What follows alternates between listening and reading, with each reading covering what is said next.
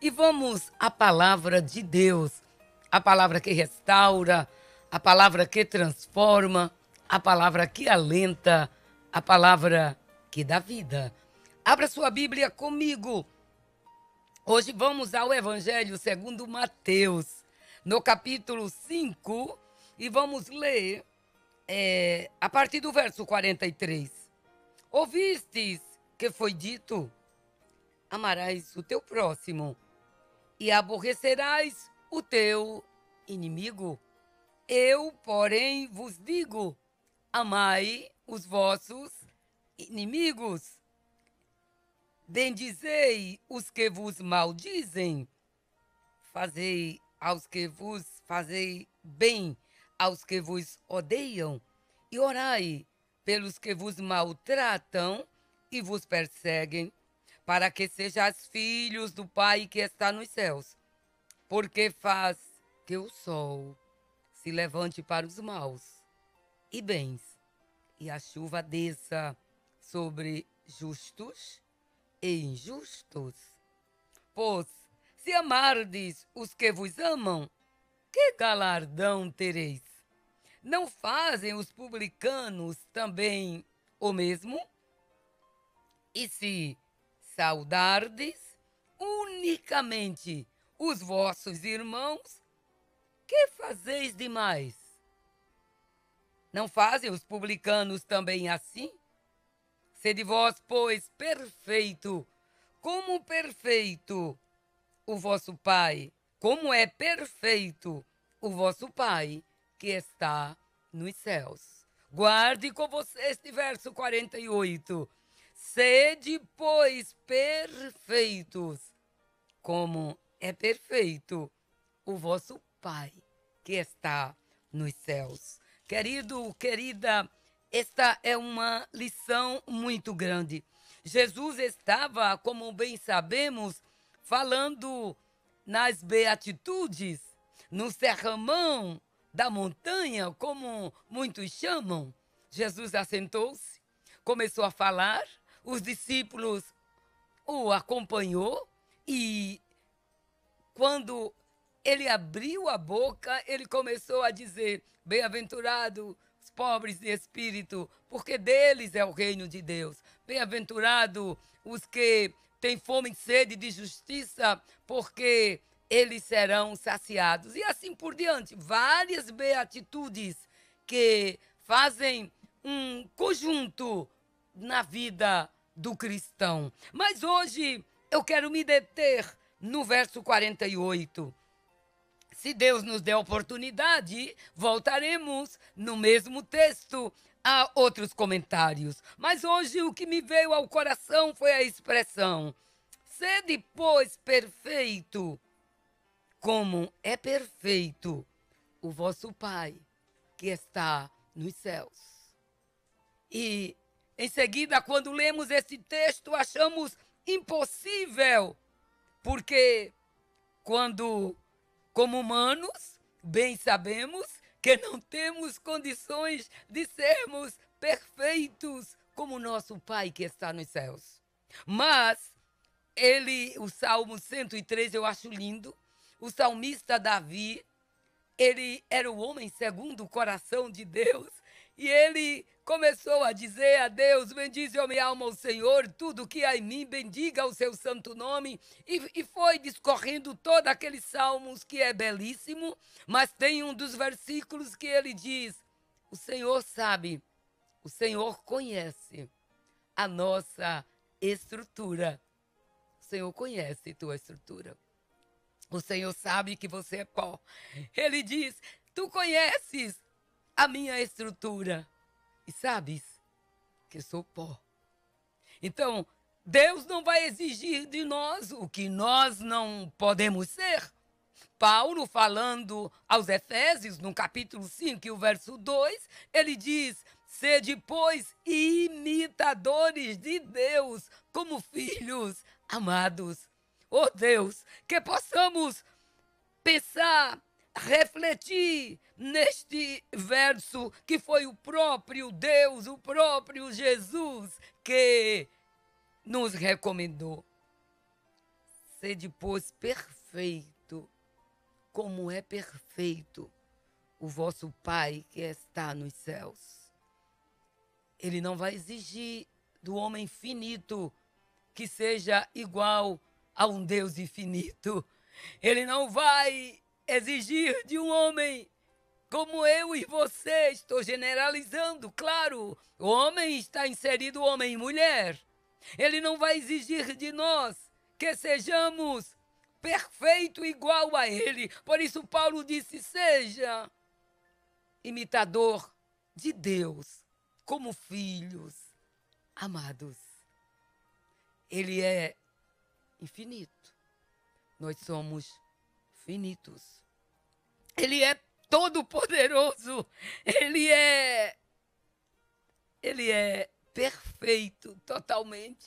Nós somos imperfeitos. Ele seus anos não têm fim. Nós vamos é ter fim um dia. Ele é imortal. Cantamos ao Deus eterno imortal. Ele é imortal, invisível, mas real. Ele conhece a nossa estrutura, mas ele exige de nós que sejamos perfeitos. E que perfeição é esta que ele exige de nós? Em primeiro lugar, ele quer que o amemos de todo o nosso coração, de toda a nossa mente, de toda a nossa alma e de toda a nossa força. Eu acho lindo quando Deus falava com Asa, creio que é com Asa, no rei Asa, lá em segundo Crônicas, segundo livro das Crônicas de, dos Reis de Israel, no capítulo 16 e o verso 9. Veja que coisa maravilhosa o que é que o Senhor diz. Porque quanto ao Senhor, seus olhos, que coisa profunda. Os olhos de Deus passam por toda a terra para mostrar-se forte. Deus se mostra forte para com aqueles cujo coração é perfeito para com ele. Pois nisso, nisso, pois, e aí vem que o, o, Senhor, o profeta, repreende o rei, dizendo: procedeste loucamente, porque desde agora haverá guerras contra ti. Mas o que eu quero trazer à baila no seu coração, quero ressaltar para o seu coração, é que os olhos de Deus, aleluia, estão toda sobre toda a terra. E ele se apresenta não um Deus frouxo, não um Deus pequeno, não um Deus que não pode, mas um Deus forte, um Deus poderoso, o Pai da eternidade, o príncipe da paz. Ele se apresenta forte para com aqueles quem cujo o coração é perfeito para com ele. Então, se Jó disse: se preparasse o teu coração, estende a tua mão para ele. A perfeição que Deus quer é a inclinação do coração. A perfeição que Deus quer é a obediência de coração. A perfeição que Deus quer é que você esteja disponível a Ele. Você está disponível para Deus? Maria disse para o Senhor lá em Lucas 1 e 38: Eis aqui a serva do Senhor, cumpra-se em mim segundo a tua palavra. Isso é coração disponível, coração querendo perfeição. Sede perfeitos, como é perfeito o vosso Pai que está nos céus. E é lindo que você vê que a palavra a palavra de Deus, é, como eu falava, que ele não exige de nós o que nós não podemos fazer. Não. Ele exige o que exatamente podemos fazer, como pó, como cinza, como falíveis, como finitos, como mortais, ele exige de nós um coração voluntário. Eu acho lindo quando Deus fala sobre Davi.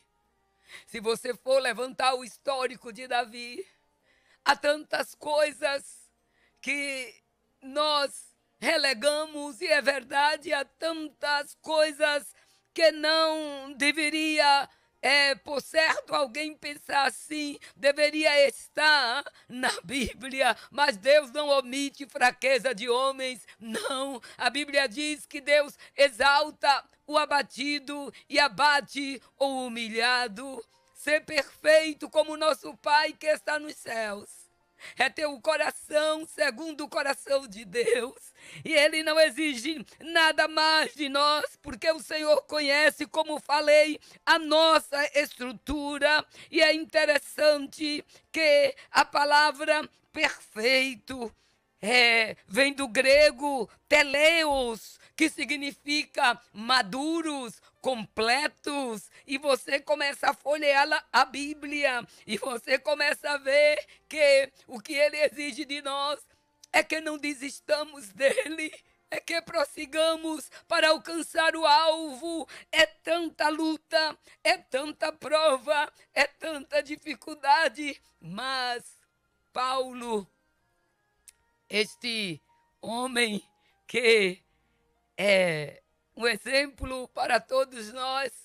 No Novo Testamento, ele diz que ele fala na sua maturidade, ele fala na completude em Cristo, e ele diz que, e ele mostra esse termo teleios lá em, em aos Filipenses, no capítulo 3, versos 12 ao 14. É belíssima a palavra de Deus. Eu, quando meditava nestes versículos, eu sempre digo a Deus: eu sou imperfeita, eu não é, te agrado em tudo, mas eu posso dizer, como disse Paulo, e você também, mas em todas estas coisas, somos mais que vencedores, não porque temos condições, não porque merecemos, mas pela graça, por aquele que nos amou. Seja maduro em Cristo, seja perfeito em Cristo. Há muita gente que por uma prova, por uma dificuldade, por uma tentação, já abandona Cristo, já não prossegue para o alvo, já não quer mais imitá-lo, já se acha que perdeu tudo e não adianta mais. Mas quem é maduro é igual quem é completo quem é esta expressão sede perfeitos, como é perfeito o vosso Pai que está nos céus? Ele é do grego, como já falei, teleos, ele é maduro, ele é completo, ele atinge a meta. Filipenses 3, 12 ao 14 nos diz assim a palavra de Deus. Não que já tenham alcançado, ou que seja perfeito. Olha bem, o apóstolo Paulo, não que já a tenha alcançado, ele fala do conhecimento, da virtude, da ressurreição de Cristo, da comunicação nas aflições, sendo feito conforme a morte de Cristo. Ele diz: Eu passei tudo isto para ver se de alguma maneira eu possa chegar ao final a ressurreição dos mortos. Que ele sabia que ele iria antes da vinda do Senhor. E diz ele: não que já a tenha alcançado, ou que seja perfeito, mas prossigo, prossigo para alcançar aquilo para o que fui também preso por Cristo Jesus.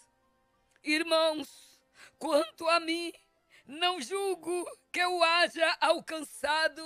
Que coração lindo, que coração disposto. Mas que esta seja a minha e a sua oração. Mais uma coisa faço, sendo mortal, sendo imperfeito, muitas vezes deixando é, a carne aflorar e não o fruto do Espírito. Mas uma coisa eu faço, é que, esquecendo-me das coisas que atrás ficam e avançando para as que estão diante de mim, prossigo. Ele diz uma coisa faço. Primeiro, quem é maduro em Cristo, quem é perfeito como nosso Pai que está nos céus é, ele esquece. Disse, primeiro, esquecendo-me das coisas que para trás ficam. O Espírito Santo está lhe dizendo hoje, eu te quero fazer um cristão maduro, um cristão perfeito, um cristão palmeira, que aguenta tempestade, que aguenta deserto, que aguenta vento e que aguenta água, mas não se quebra pelo meio. E Paulo disse: Uma coisa eu faço, esqueça, esquecendo-me das coisas que atrás ficam.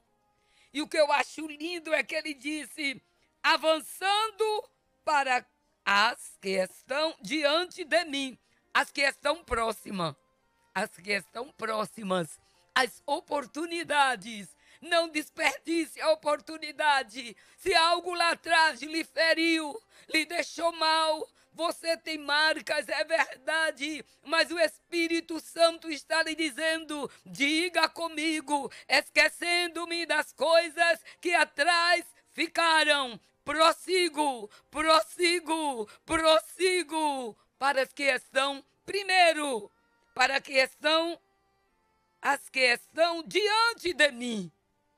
São aquelas oportunidades, são aquelas vitórias, são aquelas promessas que Deus te dá no momento. Segure-as, agarre-as, diga como Jacó: Eu não te largo até não me abençoares. É maturidade em Cristo. E ele diz no 14: prossigo. Primeiro esqueço, depois avanço para o que está próximo. Depois eu olho para mais adiante, para o bemar, para o prêmio. Ele diz: Aleluia. Prossigo para o alvo pelo prêmio da soberana vocação de Deus em Cristo Jesus, pelo que todos quantos, vê que lindo, que coisa maravilhosa. Ele diz no 15, pelo que todos quantos já somos perfeitos, não é uma perfeição utópica que ninguém pode chegar lá. Os que dispõem o coração a imitar a Cristo. Os que dizem, eu quero obedecer. Os que se aprofundam na palavra e na oração, crescem na fé, são maduros. Esses prosseguem. E e Paulo dizia: pelo que todos quantos já somos perfeitos, veja bem o que é a perfeição em Cristo e o que é a, a perfeição, desculpem, na exaltação. Quando a pessoa é exaltada, eu sou, eu posso e eu faço. Mas quando há um coração disposto a obedecer, ele diz: Não julgo que eu haja alcançado, não que eu seja perfeito. No 15 ele diz: Pelo que? já somos perfeitos. Sintamos isto mesmo. Que coisa bonita. E se sentis alguma coisa de outra maneira, também Deus vô-lo revelará.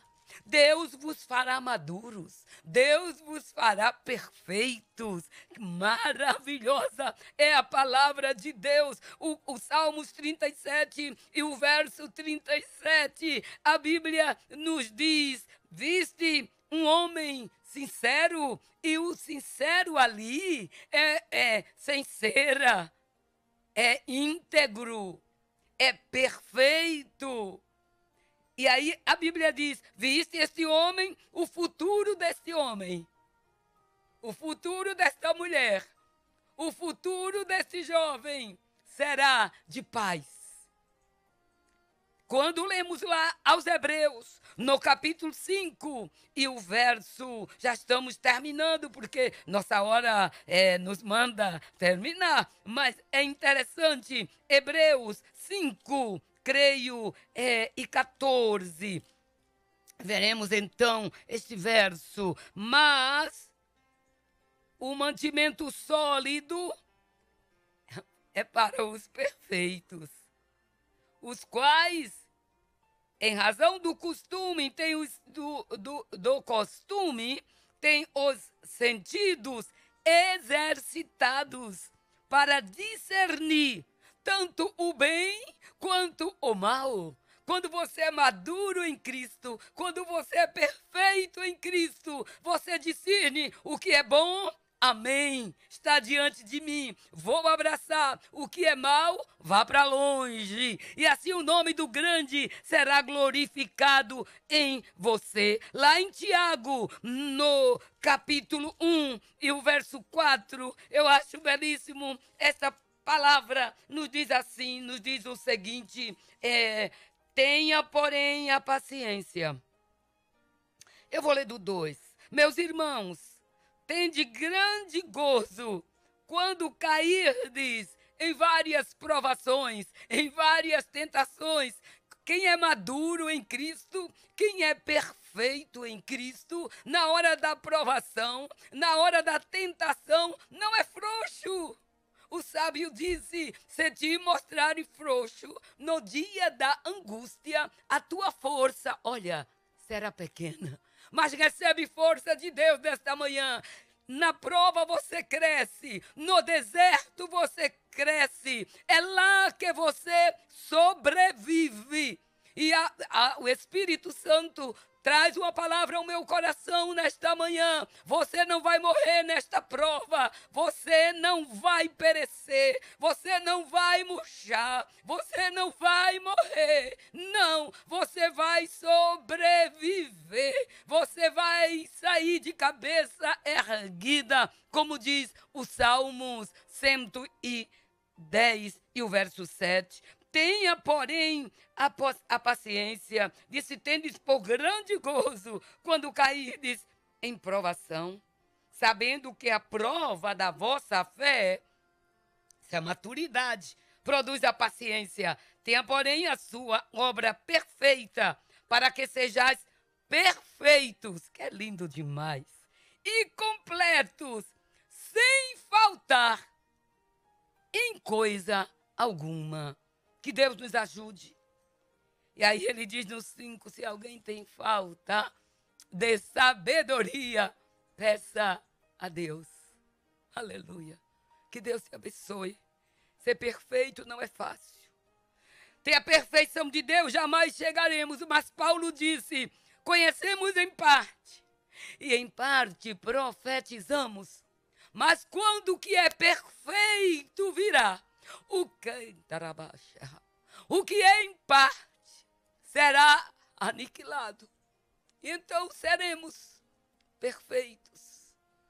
A perfeição será alcançada lá com Ele, como nosso Pai, que está nos céus. Seja maduro, levante esta cabeça. Você está prosseguindo. Abrace o que está diante. Foque na meta.